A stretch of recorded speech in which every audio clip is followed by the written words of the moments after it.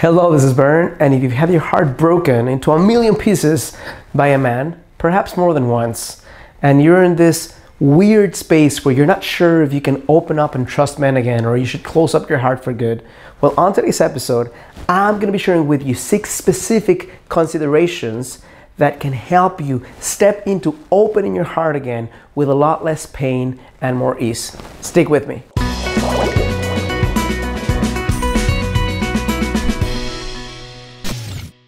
Hello, this is Bern. Welcome to your greatlifetobe.com, a space where I share with ambitious, conscious, heartfelt women how to create the relationship of your dreams as a result of no gimmicks, no manipulation, no fake texting techniques, because I don't think that really helps, but as a result of you stepping into the most worthy, most alive, and most passionate version of yourself.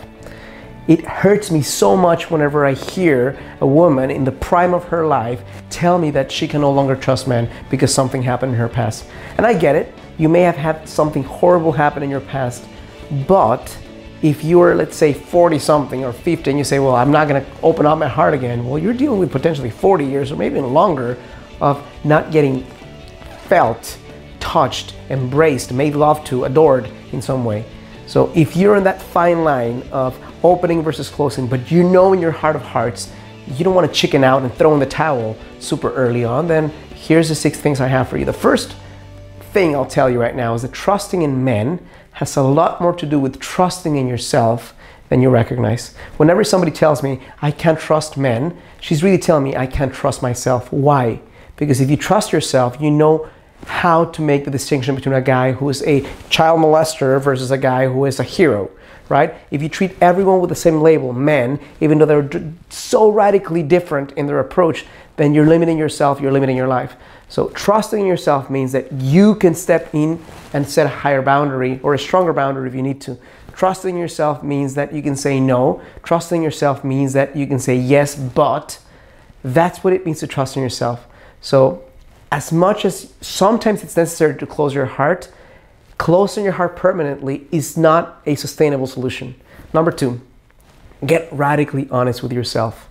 Like somebody sometime uh, recently asked me, well, can you tell me something that will help me open up and trust again? Yeah, you don't want to die alone. You don't want to die untouched. You don't want to die with your heart and music still in you. You don't want to die without expressing and receiving love of the deepest kind. So if you don't want to experience the deepest form of regret, which is knowing that you chickened out because you were not courageous enough to break through the bullshit that happened and get on the horse again, then get honest with yourself and know that what's at stake is not a boyfriend the thing that's at stake is not is not like well if I don't open up my heart again I get I'll just I'll just hang out with my girlfriends. The thing that's at stake is your ability to transcend pain in some way, your ability to be loved and appreciated and cared for in ways that your best girlfriends and your children cannot do. Period.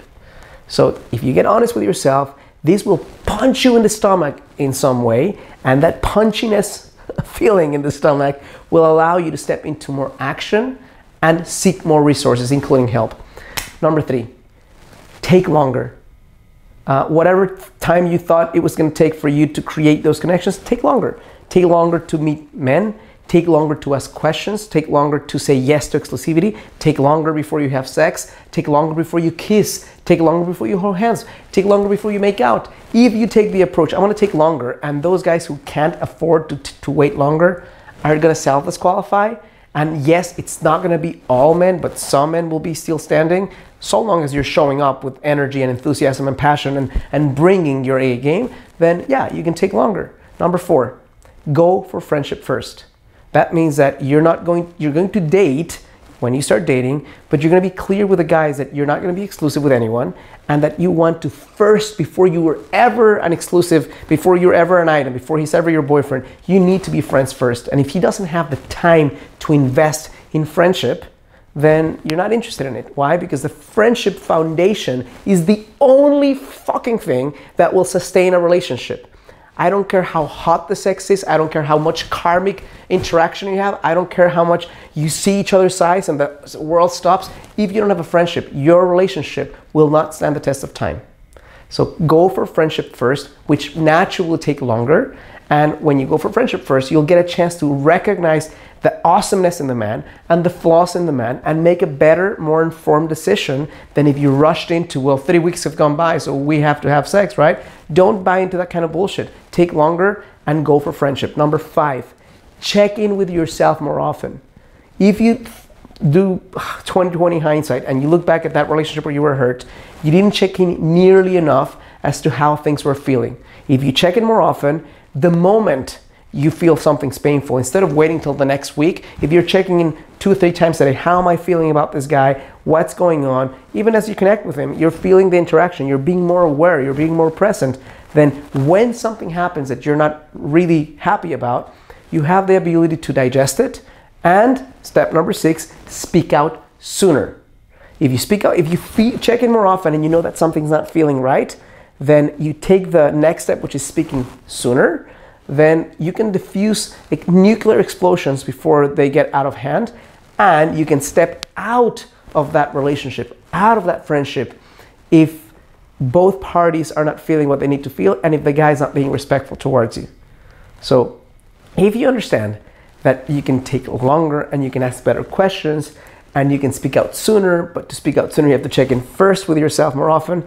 Then opening up the trusting man is really an extension of your own intelligence, of your own self worth, of your own trust in yourself, and of your own courage to actually create the result you want instead of saying, I'm out because being out many times is the wrong decision. I'm not saying in all times, but many times when you've been out of the game for a long time, and the only reason you're out is because you don't have the courage to go back in, but you really want to inside, then you're doing yourself a disservice by not trusting in men.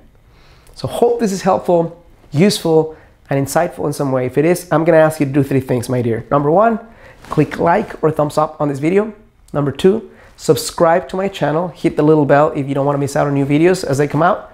Number three, on the description of this video, the first line, you'll see a link for a masterclass that I created. When you click on the link, you'll be taken to the page where you can enter your name and email and you start watching this free masterclass that can show you how to enter the relationship you want with more courage, less fear, and less pain than your trajectory. Now, if all is awesome right now, you're saying, Bern, I love your videos, this is great, I need some specific, actionable, punch me in the gut, uh, hand holding right now as I go through, the, through, my process, as I either grieve the pain of the past or I step into courageously connecting to the kind of man that I want, and I want your help doing so, there is a possibility we can connect uh, and figure out if we can work together. There's another link on the description of this video where you can apply for a call with me. Be thorough in your application and be honest. And if I feel I can help you, then we'll set a time to talk. And if we're a fit, we'll end up working together or not. If we're not a fit, then no harm done. But if you're at the point in your life where you can't stand wasting five more years of trial and error, where you know that this is the highest priority in your life to step into the kind of life you want and the kind of relationship you want, then reach out and let's see if we can work together. Sending you all my love, and as always, I challenge you to live a full and a conscious life.